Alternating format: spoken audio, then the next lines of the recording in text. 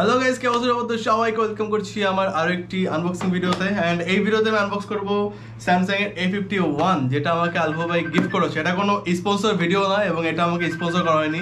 এটা গিফট করা হয়েছে, যেটা আমাকে স্যাভেজ আলভা ভাই করেছে। অ্যান্ড আমি ফার্স্টে এটা খুলে দেখি যে কেমন। এটা আমি আগে যে উপরে যে ইয়েটা থাকে পলিথিনটা ওটা আমি কেটে ফেলছি। অ্যান্ড বক্সটা ওপেন করার পরে কিন্তু ফোনটা দেখতে পাচ্ছেন, দেখেন। ওকে সো এটা কিন্তু স্কাই ব্লু কালারের আমি এটা বের করি এবার। এই যে গাইস ফোনটা কিন্তু দেখতে অস্থির মানে কালারটাও যেমন জোস, ফোনটা দেখতেও তেমন স্লিম অ্যান্ড ধরতেও সেই মজা, অস্থির একটা মজা, অস্থির একটা ভাব আসতেছে। অ্যান্ড বক্সের ভিতর আরও আছে একটা চার্জার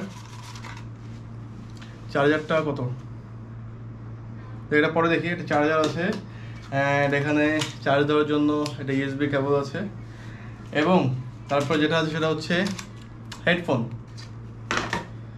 তো আমার হেডফোনের যদিও দরকার ছিল, কেনা লাগবে না পেয়ে গেছে একটা হেডফোন নাইস এবং এই ফোনের ডিটেলস যদি বলি ফোনটার ডিটেলস আমার সঠিক জানা নেই বাট এটা হচ্ছে একশো আঠাশ জিবি রম এবং সিক্স জিবি র্যাম এদিকে মনে হয় আছে ডিটেলস ডিটেলস কিছু?